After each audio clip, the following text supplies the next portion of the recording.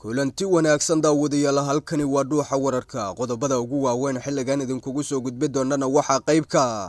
ciidamada beesha barjeclo oo gacanta ku dhiga talisyadii huwanta gobolka sool iyo weero cid iyo dhul oo ay ku ekeynayaan laascanood haddaba maxaa la gudban beesha dhulmahato oo qaadata go'aankii kama dambaysta ay isku dhiibi lahayd? Wararkii ugu dambeeya howlgallada militari ee gobolkaas oo xoogeystaya qaranka oo mar kale qorshe culus u dejiyo horjoogayaasha kooxahaasi ayaanu halkan idinkugu soo gudbi doonaa siciid cabdulaahi deni oo afka furto shaacana ka qaada inuu weerar ku qaadi doono sool xilli uu sheegay inuu gobolkaasi qayb ka qaato xorantiisa wararkii ugu dambeeyey siciid cabdulaahi deni oo qaata go'aan ay beesha majeerteed dagaal kula qaadayso gobolka sool kadib diidmadii cusuleed ay muujiso dhulbahate iyo wararkii ugu dambeeyay dowladda soomaaliya oo bar kale war adag ka soo saartay dagaalka ka socda gobolka mudug iyo kooxda shabaab oo lagala wareegay deegaanadii ugu badnaa qodobada iyo kuwo kale goortan waxay qayb ka yihiin warinta wararka shabakada dhuuxa daawadayaal ee u diyaar garooba. Isku soo noqod wanaagsan waxaad ku soo dhawaataan qodobadii aad daawateen iyo kuwo kale aynu gudagalno ku berberteena youtube dhuuxa wararka subscribe-ka saara janaalkeena hel warar iyo warbixino aynu goorkasta halkan baahintooda si joogto ah ugu gudbina aynu ku bilowno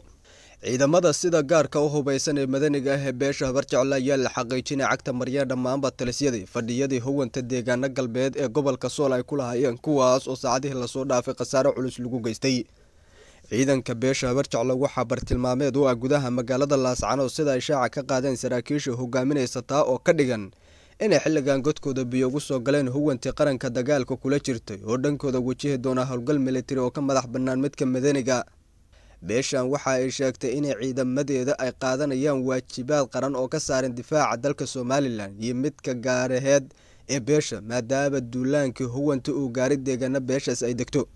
Wararkii ugu dambeeyey naga soo gaaraya jidaha dagaalka gobolka sool ayaa xaqiijinaya in khasaare culus uu gaaray kooxahan islamarkaana laga saaray deegaanadii ugu badnaa oo qayb ay ka ahayd deegaanka lagu magacaabayey iyo sidoo kale talisyadii kale ay ku lahaayeen aagaballe cumar huwanta gobolka sool waxay wajahayaan khasaare baaxad la taa oo horseed u noqotay in dhibashiya dhaawac xoogan mar kale uu gaaro dhabarkana laga jebiyo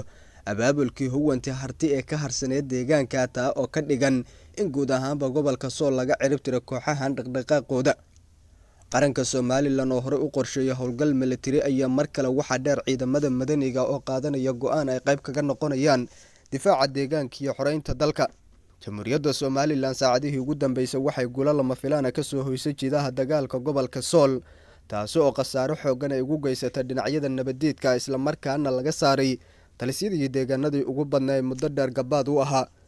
Deegaanada oog sarinka hore waxaa gacanta ugu gashay ciidanka qaranka somalilan ee militariga ee howlgal dhanka arac cadeeye ka soo gelaya laascanood halka ciidamada beesha habarjeclana ay wacad ku mareen inay magaaladaasi tigsan doonaan islamarkaana saraakiishii ciidamada ka xiran ee hore militariga looga qabsaday oo faysal cabdi bootan uu qayb uu ka yahay si dhaqsaa loo soo deynayo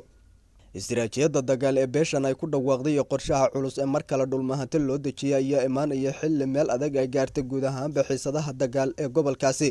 Islamarkaana hore ay isaga baxeen beelihii huwanta qaybta ka ahaa kuwaas oo mar kale beesha dhulmahanto hore ay ugu bahdisha deegaanka islamarkaana ay muddo saacadaha u qabatay inay ka baxaan waxaa socda qorshihii iyo abaabulkii kama dambaysta ee beesha dhulmahante mar kale isugu dhiibaysa qaranka somalilan taasi oo ka dhigan dhabarka ay ka jabeen kooxahan wiiqmeen awoodaheediina meesha ay ka baxday taa oo somalilan u fududeynaysa mar kale in guulo waaweyn ay ka soo hoyso. Jiidaha dagaalka deegaanadaasi maadaama qaranka muddo dheer uu bartilmaameysanayay kooxaha uu khatarta u arko. Wararkii ugu dambeeya ka soo gaaraya shabakada dhuuxa wararka ayaa xaqiijinaya ciidamada somalilan oo bartilmaameysanaya dhammaanba fadhiyada talisyada iyo xarumihii gaarka horjoogayaasha huwanta laascanood in ay qaadeen tillaabooyin degdega saacadihiina weydaartataa oo durbadiiba guula darro culus kooxahan u horseeday. Ciidanka beesha habarjeclo oo dhammaanba talisyadii huwanta cagta mariyay ayaa horseed u noqon doonta in saacadaha soo aadan ay suurtagal tahay inay gudaha u galaan magaalada laascanood iyo xarunta gobolka sool. Dhanka kale dhulka howdka ee gobolka cayn waxaa ka socda howlgallo culus oo qorshuu yahay inay ciidamada ku tiigsadaan gudaha magaalada boohodle ee gobolka cayn dagaalkii ugu cuslaayo qaranka u cilaamiya kooxaha nabadeedka ee dagaalka ka wada gobolka islamarkaana somalilan ku bartilmaameysanaysa goob kasta oo xilligan ay ka dhigan karaan gabaad iyo difaac. Si kastaba ha haatee qorshaha militari iyo midka ciidamada madaniga ay jamhuuriyadda ugu dagaalamayaan ayaa muddo dheer mid laga shaqaynayay taasi horseed u noqon doonta in la israaciyo awoodaha iyo kooxihii khatarta ahaa ee muddada ka dagaalamaya gobolka si awoodooda mar kale loo soo gabagabeeyo. Jamhuuriyadda waxay dejisay istaraatiijiyada milatari oo culus. Horseedna u noqota inay kooxahan ay gaaraan khasaare culus islamarkaana awoodooda mar kale dhabarka laga jabiyo. Muddo dheer jamhuuriyadda ayaa dabidna xoogan u dhigaysa kooxahan taa oo ugu dambeyntii ay ku dhaceen waana qorshaha kama dambaysta ee qaranka uu horseed u noqday in kooxahan uu mar kala wiiqa awoodahoodii gaarka ahaa iyo abaabulkoodii nabadgelyo darro ee muddada dheer gobolka sool ay ka wadeen sanadka laba kun labaatan iyo saddexda waxay dhaawac culus u geysteen guud ahaanba nabadii gobolkaasi qeybo badan oo ka mid a taasi ugu dambeyntii xilligan mar kale ay shalayto ka joogta beesha dhulmahate oo duulaankii ay martigelisay noqday mid iyada ay ka dhexashay dhibaato culus oo isugu jira khasaare naf iyo maalle. Si kastaba ahaatee saraakiisha ciidamada qaranka jamhuuriyadda somalilan ayaa heegan ku galay jidaha dagaalka gobolka iyagoo xilligan bartilmaameysanayo dhammaanba talisyada fadhiyada iyo sidoo kale goob kasta oo kooxahan u ahaan jirtay xilli goob ay joogaan. Muddo dheer ayaa la dejinaya istaraatiijiyadda kama dambaysta ee ciidamada beesha barjecla iyo kuwa militariga ay ku galayaan laascaanood saacadaha soo aadanna qaranka waxa uu bartilmaameysan doonaa fadhiyada huwanta gobolkaasi. Qaybihii dhexe wararka shabakada dhuuxa wararka ayaa daawanaysa bogana youtube. Haddii aad ku cusubtaa ku biir sabskaraybka saare janaalkeena hel warar iyo warbixinayno goorkasta halkan baahintooda si joogto ah ugu ambaqaadno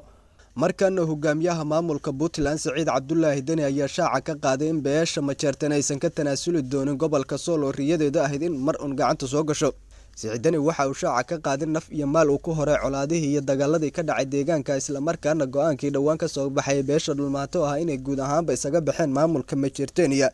inuu yahay mid albaabada ka soo xirayo qorshahoodii iyo hadafkii ay ka lahayeen xoreynta dagaalka uu ka galay maalka badan ee ka dhaca gobolka sool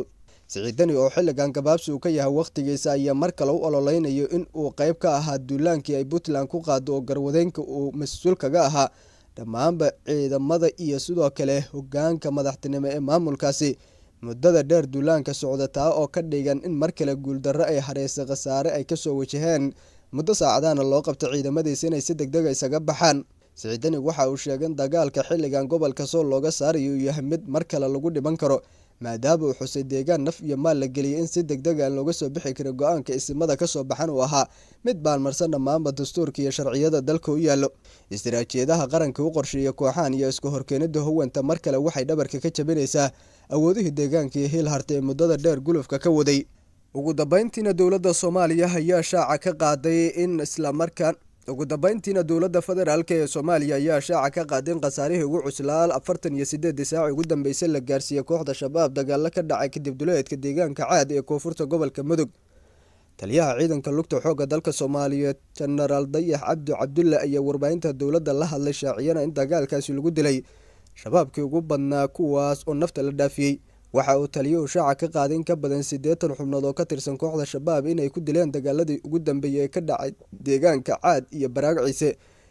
Jenaraal dayax ayaa shaaca ka qaaday in dhammaanba goobihii lagu dagaalamay ay gacanta ku dhigeen ciidamada dowladda iyo kaashanaya kuwa galmudug iyo shacabka hubaysan. Maalmaha soo aadanna ay bartilmaameedkooda yihiin inay soo galaan gobolka galguduud maadaama deegaanadii ugu badneed ee kooxdaas ay ka joogtay. Koonfurta gobolka mudug khasaare culus lagu gaarsiiyey warinta akhbaaraadka shabakada xilligan dhuuxa waa naga intaa waad ku mahadsan tahay daawashadaada mid lamida inta dib u kulmi doono